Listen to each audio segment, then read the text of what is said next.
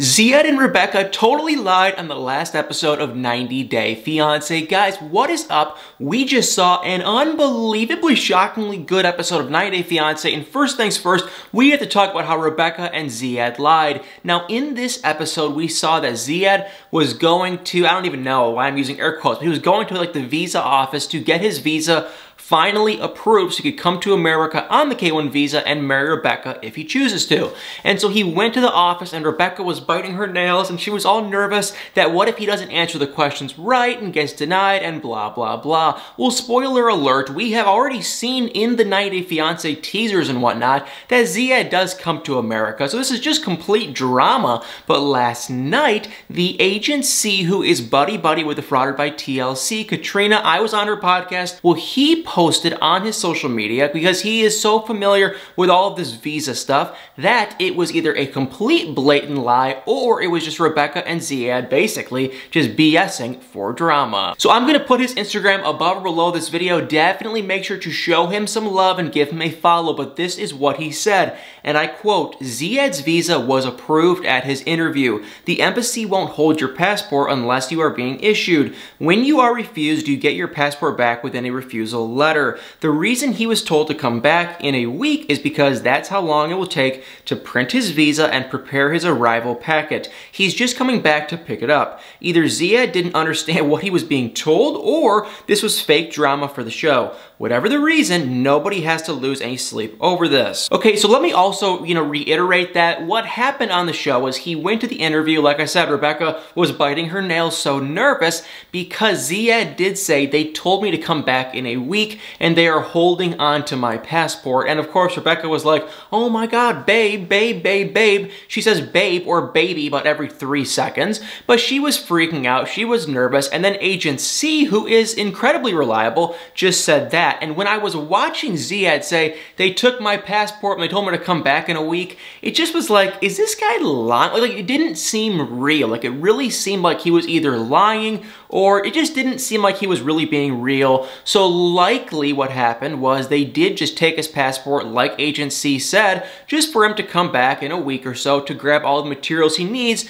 to come over to America. So I am calling BS. I think that they are just lying and being dramatic. There's the possibility that maybe Zied just didn't understand what was going on, but come on. It's in his country, it's in his language. I'm sure he knew exactly what was going on, and they probably just wanted a teensy bit of drama. But please, Feel free to comment below what you think of this Rebecca and Zied drama. And while we are on the topic of Rebecca and Zied, I have an itty bitty little spoiler that I found out some time ago about them. And if you want to know the spoiler, I'm going to put a link above or below this video to the spoiler on Rebecca and Zied. I don't want to share it in this video because some of you guys, y'all don't want to hear spoilers just yet. It's kind of early, but for some of you guys that really want to know what is going on, I'm going to put a link above or below this video. So definitely make sure you check it out. It's on my blog you can check out the spoiler, but please keep it out of the comments section for now. And then that was about it for Rebecca and Zied. More on them in a couple of minutes, but now I want to fast forward over to Brandon and Julia, and we might as well just mention Brandon's freaking mom and dad because they were like a main character in their segment too.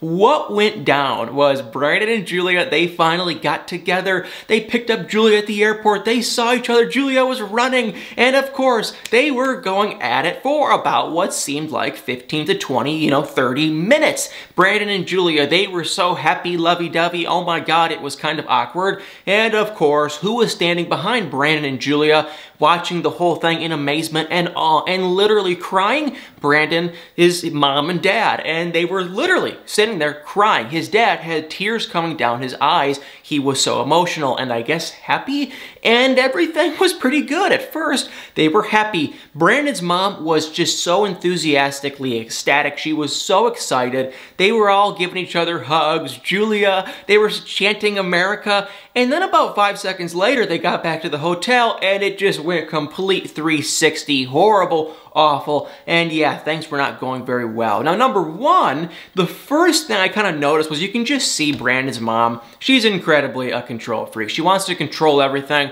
I'm sorry if you don't agree with me, but that's just how I kind of perceive it. She definitely seems to be a control freak. And so, you know, they were gonna go back to their hotel room and kind of relax. And then, you know, Brandon's mom said, well, let, us meet back at the hotel lobby to get dinner in like five minutes. And of course, the clock is ticking, ticking, ticking, and Brandon and Julia are in their room doing God knows what, and 30 minutes rolls by and Brandon's mom and dad are sitting at the restaurant like kind of getting a little bit annoyed and mad because it's like, we said five minutes and now it's been 30, so they were kind of just like disgusted, ooh, what, you know. Anyway, they do show up, and then what does Brandon's mom do? she just jumps right into the two biggest issues that Brandon never mentioned. The first issue being the bedroom situation. Now, I don't know if you guys already know, but in the last episode, Brandon's mom and dad both said, because you are going to be staying under my roof, you need to be in separate rooms, which I do think is stupid because they are getting married, but, but, but, I think it is reasonable for the parents to make up whatever rules they want if it is under their roof. So I do think, you know, Brandon and Juliet, they should be together, but in your own apartment. I mean, if you're at your parents' place and they want to have rules, I get it, can't disagree. So I see both sides, but I am kind of honestly siding with the parents that it's their house, their rules. And so, you know, of course, when the mom told Julia, she was just like, wait, what? She could not believe it. She was like, well, now we're never gonna have any time to see each other. I'm never gonna be able to talk to you. And she was like really, really, really, really mad. And then the million dollar kicker, and that was when Brandon's mom started talking about babies and children.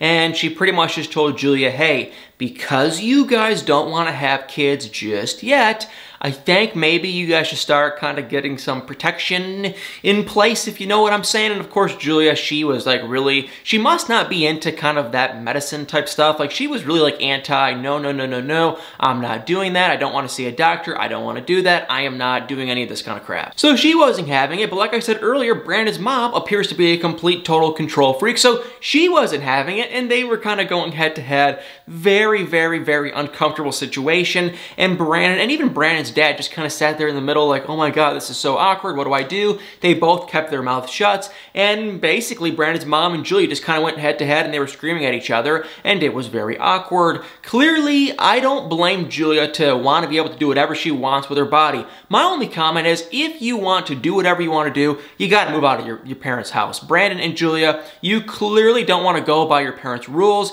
and that's fine. So move out. And, and if you do have a kid all of a sudden, hey, you know what? You got to raise the kid. It should not be Brandon's mom and dad's responsibility. So if you want to be an adult, you got to live like an adult, and that is my only two cents. But definitely feel free to comment below on them. And I have a pretty big hunch, you guys. We are just getting started with Brand with Julia and Brandon's mom. I think we are going to see some really intense and crazy stuff with those two. But now let's go over to Jovi and Yara. And this couple is God awful. This Yara lady complains and complains and complains and complains. I have never met someone that just hates America and uh, like a city as much as Yara. Now keep in mind, she's only been there for a day, but literally everything she could have complained about, she's been complaining about, with one exception, and that one exception is when she did just land in America, it was later-ish, it was dark out, she was just got done flying for like 25, 30 hours,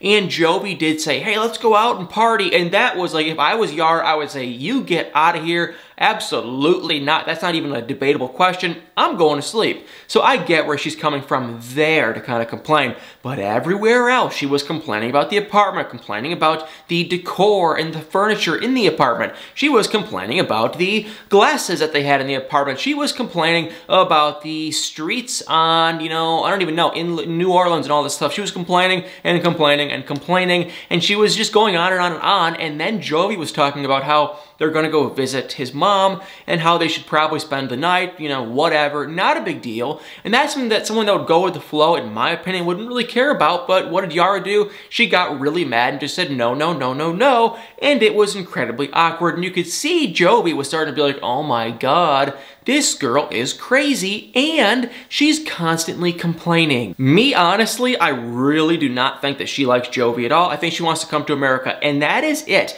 I hate to be rude. I know it is still kind of early, but this guy seems to kind of just be a gullible, a nice, fun guy but he really seems to be kind of gullible. I'm sorry, I know. Maybe he's not, but he appears to be. And he saw Yara, and she's a relatively good look. I mean, she's definitely attractive, but it's like her personality just totally outweighs her looks. And her looks, she looked a lot better on social media, if I'm really gonna be honest. So it's kind of just like, I don't know what he's doing with her. And yeah, it's a mess. They are constantly fighting. And the worst part about these two is he has to leave in like two weeks to go to work and then he's gonna try to come back and marry her. So I don't know what's gonna happen, but it is not looking good. And then there was Tarik and Hazel, and apparently Hazel is on the, the way to get a girlfriend. This was just like the funniest thing I've ever seen in my entire life because it just goes to show how much Hazel is so uninterested in Tarik. What happened was Tarik was kind of talking about his past relationship with Hazel. He met her, they had the ups and downs and blah, blah, blah, blah, blah. Then he met another woman. Then they tried to have like a love triangle of a relationship with the other two women, Hazel, this other woman named like Minty, and then Reek, and it didn't work. And now Hazel's coming over to America and he's all excited, but when he was talking to Hazel, I don't know if you guys noticed or not, but the only thing she was talking about was the women. She was asking him, are there a lot of hot girls in Virginia Beach? And even Reek and I were both like, wait, what? You're coming here for him. You're not coming to America to meet a bunch of hot girls, so I don't know what Reek agreed to. I think he is just too normal and nice of a guy. But don't get me wrong. The guy is kind of out there and he does his own craziness stuff and he's like, you know, a rapper and a bunch of other weird random crap, which is kind of bizarre. But hey, don't get me wrong. I talk about reality TV shows 90% of my life, so I can't really talk much. So it's kind of weird, kind of out there, but still, Reek, you have to open your eyes. I don't think he's going to marry her. I don't know what is going to happen. These two are just like, what? Because literally, the only thing on her mind is women, women, women, and I think she just wants to have a girlfriend. Nothing wrong. Let me just come out and say that too. Nothing, nothing, nothing wrong with her if she wants a lady. But don't put Reek in the middle. Tarik clearly just wants to be with her. That's it. He doesn't want to have this weird relationship, I don't believe. And I think he just is kind of like, geez, I'm kind of like over here, and you're over here with your new girlfriend, if she does ever get a girlfriend, which it really sounds like she wants one. So, yeah, I don't know how this is going to go down for those two. I don't see it working, to be completely honest. I think Hazel can be a little bit high maintenance, kind of. Sorry. And I think she just honestly isn't into the guy, but I could be wrong. So we're going to have to wait and see. And then there was Mike and Natalie. And yeah, they are honestly a god-awful couple. They have no business being together whatsoever, but Natalie did make it to America, and like I said in my video yesterday, she kicked Uncle Bo out on the street, basically. She told Mike that she does not feel comfortable with Uncle Bo living in the house when she's there, and so he has to leave. And what did Mike do, who apparently is like the nicest fiance in the whole world? He literally kicked the guy out, and he made him move into, you know, Uncle Bo's brother's place, and so I guess he has a place to go. He's not literally like homeless, but still, it's kind of like, God, that's your family. You know, whatever happened to, I don't know, being there for your family. Clearly, Uncle Bo could use some help. And it's like, geez, Natalie, you've never met this guy. How can you say that you're uncomfortable being around him? And I get it, but it's still, it's like, you don't know him. He is technically your family, and it's kind of different, but what if Mike was like, I don't want to live with your mom? It's the same kind of an idea, and it's just not a good thing in my eyes that Natalie is kind of like, anti-Mike's family, kind of. So number one, major red flag. Number two, major red flag. Now, I know, I know a bunch of you ladies are probably gonna say that's stupid and small, but if I was Mike, I would have been so mad. Mike came to the airport, he had roses. They were what, pinkish purple? And Natalie said, why are these roses purple like 395,000 times? And Mike finally was like, hey, I got you those. And then Natalie finally admitted, well, I don't like the color. And if I was Mike, I would have grabbed those roses, put my car window down, and thrown them out the window, and I probably would have thrown out Natalie with them because, I mean, I nothing makes me more mad when people are ungrateful and oh my god, it's like, you know what, Natalie, It's the thought that counts. And she was complaining and I was just like, oh, that made me so mad. Maybe I'm just, I don't even know. I just, come on, say thank you. You don't want the colors. It's a gesture. It's being nice. He went out of his way. He spent his money, which he doesn't have much of, it sounds like. Be nice. But then I will say, Mike put on a freaking show after that. They went to Seattle for the night. He rented out a mansion of a hotel room, a literal mansion. Had a kitchen, had a gigantic fridge, had a big old, you know, table. I mean, it wasn't a hotel room with a bed or two. It was a literal, like, you know, one bedroom apartment, huge hotel. And then it was just, she couldn't believe it. It had a view. He was even saying, hotel room in here is four or five hundred dollars a night. So he's like spending all this money for her and then she was more grateful, I will say, but still, it's like, man, you, I mean, Natalie, you really, really got to step it up and start saying thanks a lot more. And she did say thank you after he put on that whole show with the hotel room. And then he even got food and this and that. And they were all happy. But still, I'm watching this thinking, oh my God, you really, really, really, really, really need to kind of step up your game because Mike seems to be doing everything. These two, I think in my eyes, just have, oof, they have a lot of issues coming their way. I don't think it's going to go well for these two, but we are going to have to wait and see. And that was all we got to see from last night's episode. Now, there are two other couples. I am totally blanking on their names, even though one of the guys actually followed me on social media. Okay, the one of the guys, his name is Ryan, and the girl's name is Stephanie, I think. And Stephanie, of course, is from Grand Rapids, Michigan. Shocker. And if you're wondering why it's a shocker, I'm from Michigan too, originally. But she's from Grand Rapids, Michigan, and she seems to be completely crazy. The other couple, the lady's name is Amira, and the guy's name, oh my god, I feel so bad because he actually followed me. I think his name is, I don't want to say, I can't remember, sorry. But they had not been on the show yet, but we got to see a preview for them. And honestly, with Stephanie and the Ryan guy, because Ryan is clearly using the Stephanie woman, it looks really good. It reminds me of like a David Lana kind of situation. And then for Amira and this guy, who I'm blanking on the name, oh my god, I'm so sorry, guy, I'm sorry. But it looks like really good. And honestly, there seems to be a lot of drama, kind of a weird situation. What appears to be happening is she's in France. I think he's in California. She, you know, has been trying to come with this K1 visa. She finally got the K1 visa approved, and then the stay-at-home order hit, which boo-hoo, that sucks. So then she was like trying to figure out a way to come, and I believe she could maybe fly to Mexico, and because he's in California, he could probably either fly or drive there relatively easily, and so she was like contemplating doing that, and then of course, you know, her dad was like, no, no, no, do not do that. So it was just, it seems to be a huge mess. I don't know if these two have ever even met each other. They might have actually, but still, it does not look good for those two. And yes, I am very, very, very excited. So 90 Day Fiancé, you guys, it was very, very, very good. And the thing I wanted to touch up on with Rebecca and Zied at the beginning of this episode is, um, I know kind of more stuff happened with Rebecca. And basically, if you guys didn't know, she met up with one of her friends that she used to work with and her friend just called her out and called her out and called her out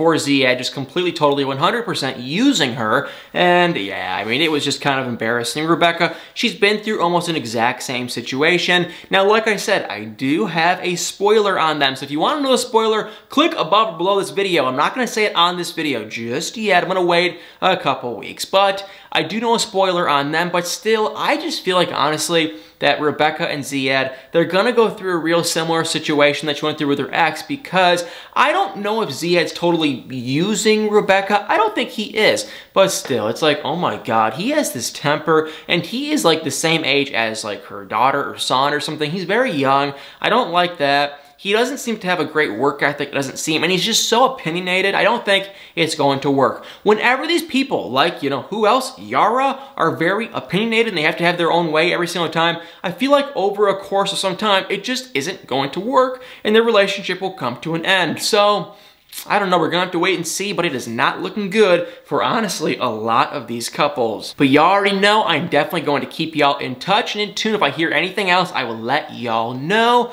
Well guys, thank you all so much for watching. I hope you enjoyed this video. If you did, it'd mean the world to me to tap that like button, comment below your thoughts. Please make sure to check out that article above below this video if you want to know the spoiler on Rebecca and Zied. And also, thank you all so much for watching. Y'all better stay tuned for many more videos.